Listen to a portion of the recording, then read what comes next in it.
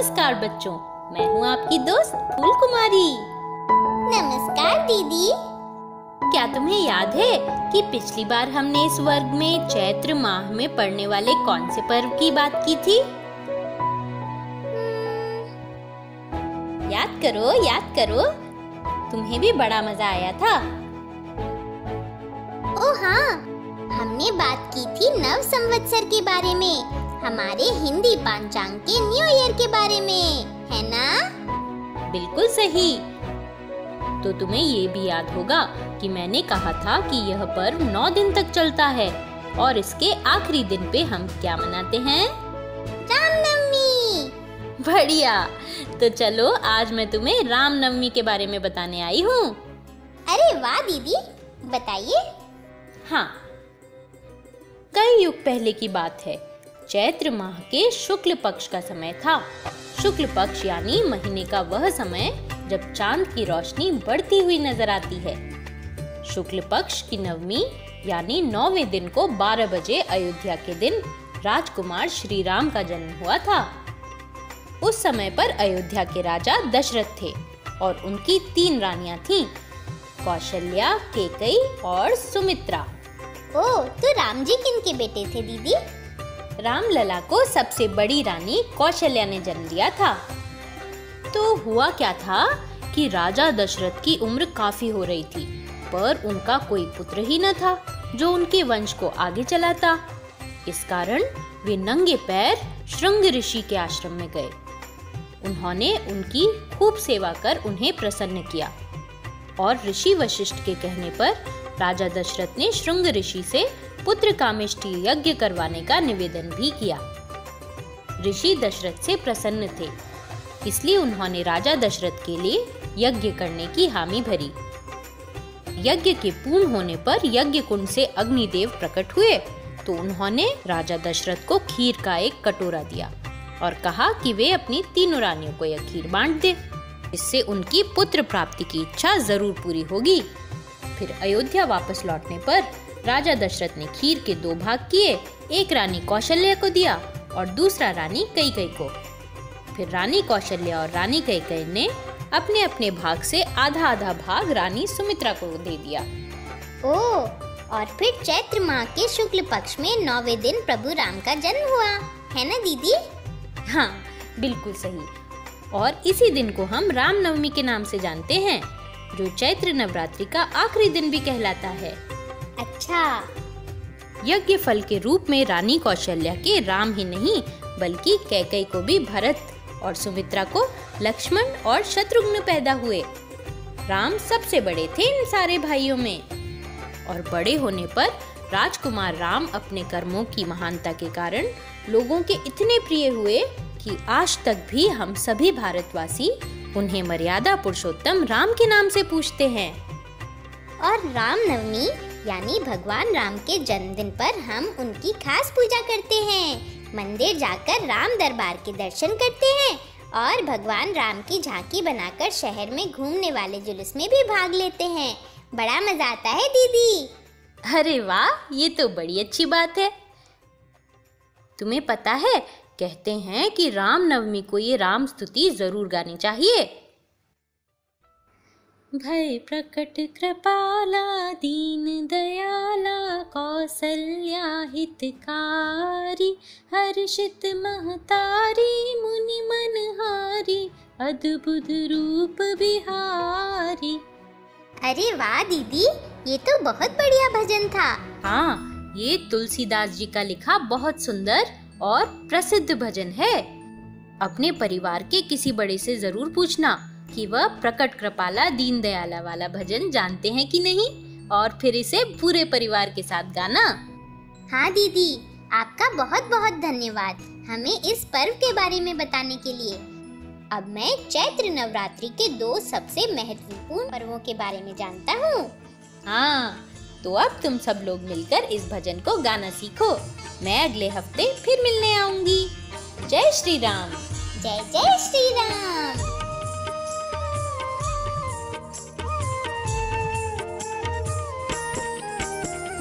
प्रगट कृपाला